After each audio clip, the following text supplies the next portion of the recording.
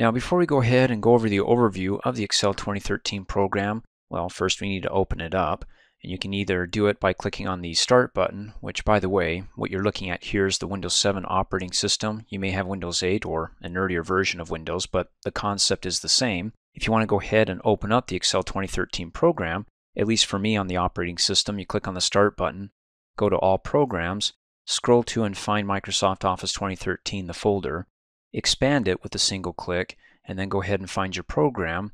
And then when you find it, click on it, it opens it up. Now once you close out of it, then you have to repeat the process, but if you don't want to go back to the Start menu, then go ahead and give it a right click on the program and either pin it to the taskbar. As you can see it says unpin because right now I currently have it pinned, so the only other option is to unpin it. Or you can pin it to the Start menu, or you can send it to, come over here and up to the desktop as a shortcut, which is what you see on the desktop there, the shortcut that will require a double click to open it up. So I didn't pin it to the start menu, but I can do that and then go ahead and click back and you can see it's in the start menu but that defeats the purpose for me because I don't want to go to the start menu so I can right click on it and unpin it from the start menu click off and I can either use a shortcut down below on the taskbar which just requires a single click or the one right here which requires a double click on the desktop that is. Go ahead and double click on it and there we go it opens up the Excel program. Now in 2013, it doesn't open up and start you off with a blank worksheet. It takes you to the backstage view where you get a bunch of templates you can choose from. Like, let's see, I don't want the blank workbook. Maybe there's something else I want to start off with. Which for me, I'm a bit more traditional, and plus I usually start off with the blank workbook, so I can go ahead and change the options here, and I'll show you later on how you can have it always start up with the blank workbook every time you open up the Excel program. In any case, let's just go ahead and click on the blank workbook to open it up and there you go, there's Excel 2013. Now for the overview. And to go ahead and do that, so every time you open up Excel you know what you're looking at here. We'll start in the upper left hand corner, work our way from left to right then top to bottom. So on the upper left you can see the uh, programs icon to let you know what program you're working in. That's Excel with the uh, X there.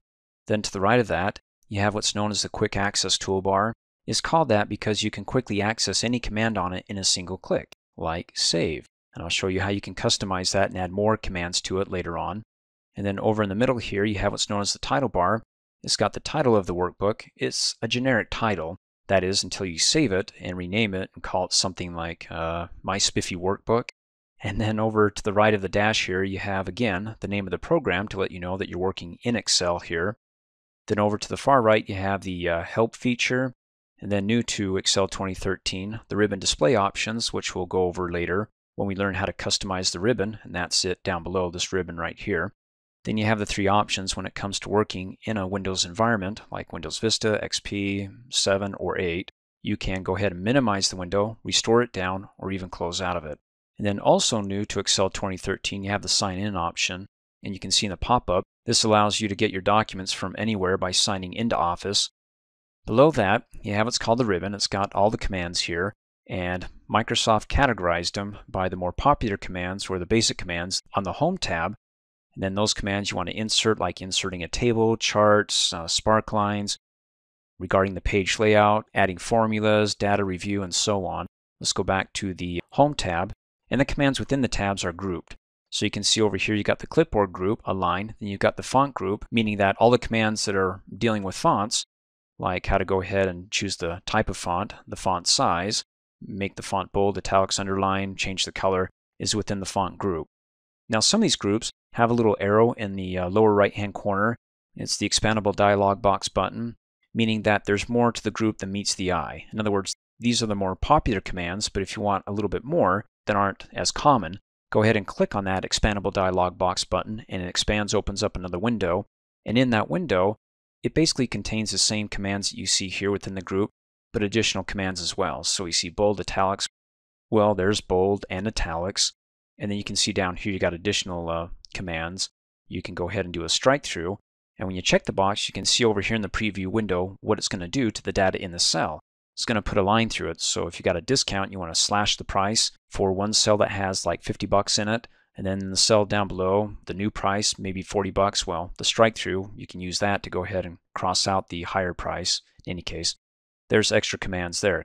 Let's go ahead and click cancel.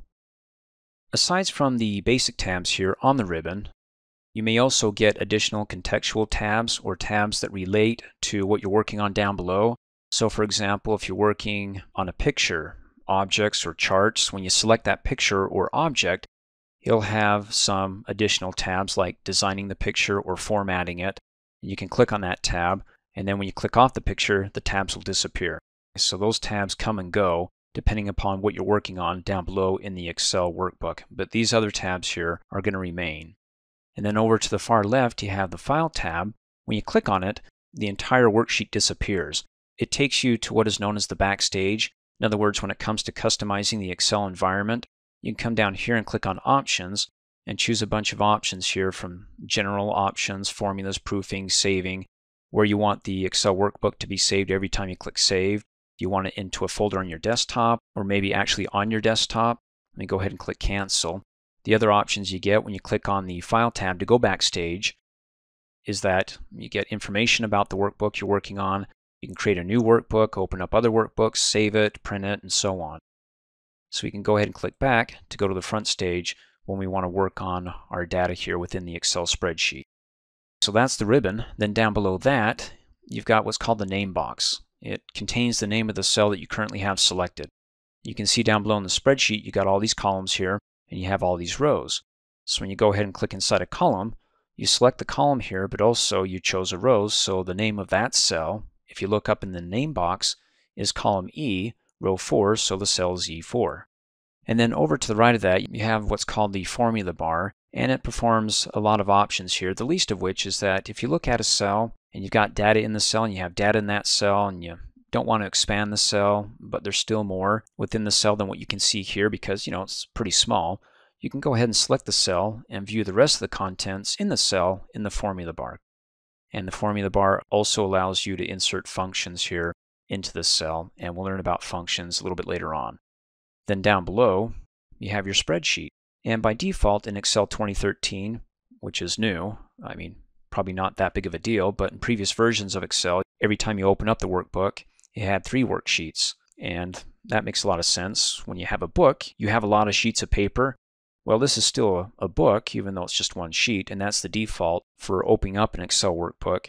You get one sheet to work with, but you can always click on the plus sign to add additional sheets, and I'll show you how you can customize this so anytime you open up a new workbook, if you want to go back to the earlier versions of Excel where you always had three sheets, or even so, you can have five sheets, 10 sheets every time you create a new workbook. It's up to you. I'll show you how you can do that later on.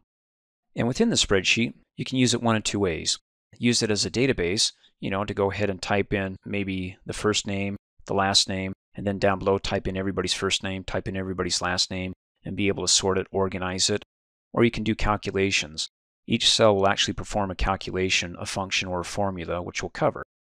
Then below the uh, worksheet here, You've got some arrows that if you have additional worksheets, you can scroll over, or you can just see them here and click on worksheet 2, worksheet 3 if you, like I said, have additional worksheets.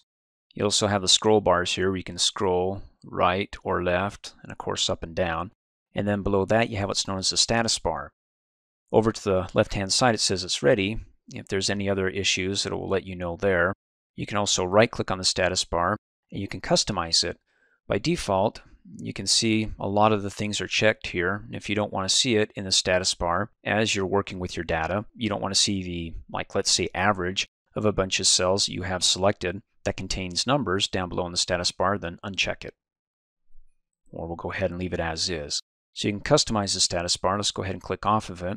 Then over to the far right here, you have the normal view, the page layout view, and the page break preview, which by the way, we're talking about views you can come up here and click on the View tab, and there they are, Normal, Page Break, and Page Layout. It's just that these are the more popular views, and you know, if you're on the Home tab and you don't want to come up here and click on this tab and then click on the uh, Page Break Preview, that's two clicks, just come down here, and it's just one click.